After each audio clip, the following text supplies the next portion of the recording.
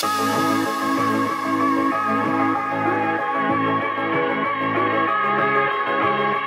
guys, it's Prime Score from Shockbyte, and today I'm going to show you how you can edit, edit your server files on your computer.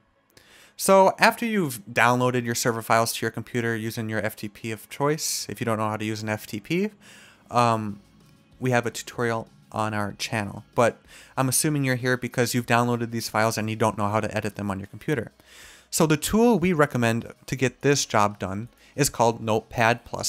Just Google Notepad++ or uh, in the description, we have a link to the website and uh, download uh, Notepad++ uh, suited to your computer.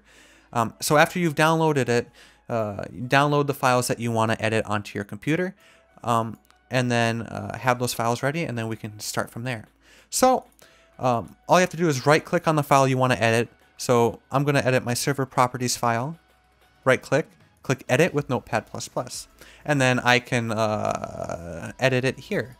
And so let's say I want to turn off my whitelist. So right now I can see enforce whitelist is set to true. If I set that to false, I can go up top left file and click save or hit control S, assuming you know how to save files. But um, after that, we can just exit it, exit out of that file, upload it to our uh, server um, using our FTP of choice, and then restart the server, and then it's going to read the file and everything has changed. Now, the biggest file size, or the one you're gonna, uh, the the most abundant file type, I should say, that you're gonna encounter is YAML files.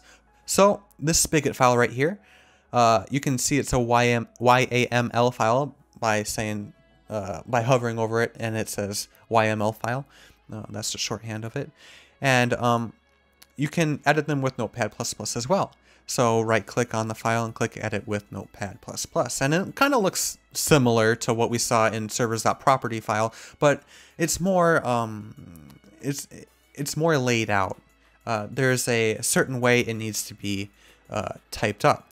So for example, um, you must use four spaces when indenting. Don't use your tab button. I mean, uh, uh it's not, it has to be exactly four spaces when you indent.